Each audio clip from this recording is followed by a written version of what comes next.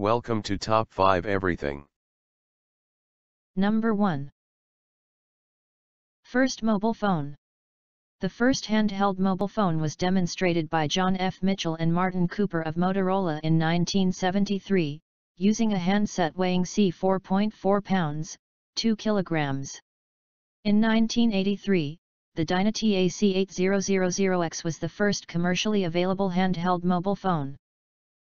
Number 2. First car.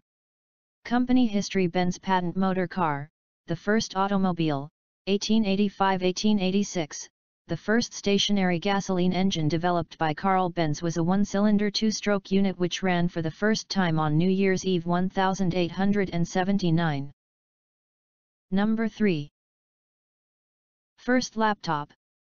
The Osborne 1, released in 1981, used the Zilog Z80 and weighed 23.6 pounds, 10.7 kilograms. It had no battery, a 5-inch, 13 centimeters, CRT screen, and dual 5.25-inch, 13.3 centimeters. Number 4. First television. By the 1920s, when amplification made television practical, Scottish inventor John Logie Baird employed the Nipkow disc in his prototype video systems. On March 25, 1925, Baird gave the first public demonstration of televised silhouette images in motion, at Selfridges department store in London. Number 5. First motorcycle. Another early internal combustion, petroleum-fueled motorcycle was the Petroleum Reitwagen.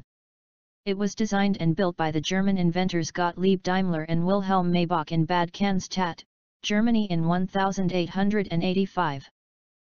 Thanks for watching. Like and share with your friends. And subscribe to watch more videos like this.